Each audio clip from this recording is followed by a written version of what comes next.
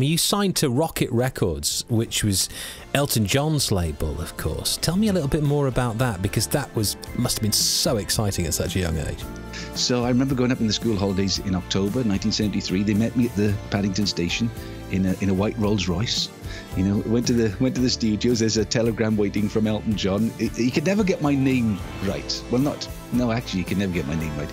Initially, he used to call me Blodwyn Pig because there was a band in the 70s called Blodwyn Pig. Uh, the telegram, actually, that's online as well. It says Matt Dwin. Uh, eventually, he got round to calling me Maldwyn. Well, my name's Maldwyn, but he called me Maldwyn. So, uh, yeah. Uh, but amazing times, you know, because I was working with the very best, not just in the country, in the world. You know, it was Elton John's band. It was Gus Dudgeon who produced, you know, Space Oddity, Goodbye Yellow Brick Road.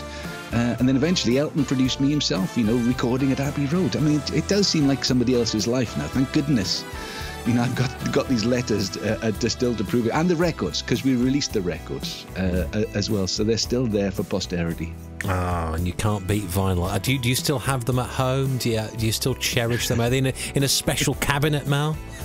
so, so what happened was, so the, the, the, the record I made with Elton had an A side, obviously A side, a B side, and uh, I, was on Songs of Praise of all shows uh, earlier this year, and they thought, right, we've got a new version of it. Let's find the old version. So I, I, dug through my old vinyl collection, couldn't find it. Somebody's thrown it out. I had to buy it off eBay. Two things I was disappointed with, Tony. One, I had to buy my own record on eBay, and two, it was only five pounds. I was hoping it would be like a 30, maybe 50 quid a buy now. No, a fiver and I got my collection back. Before we talk more, let, us hear the new song and then we'll chat more about it. Comes out on Friday. This is Mal Pope and Summer's Gone.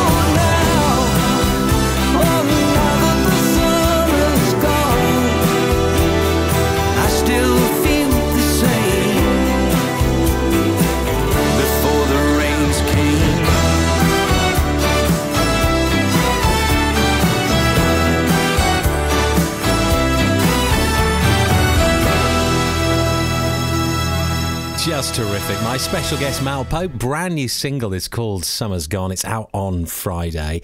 Uh, congratulations, Mal. That's a t- terrific song. Instant earworm as well.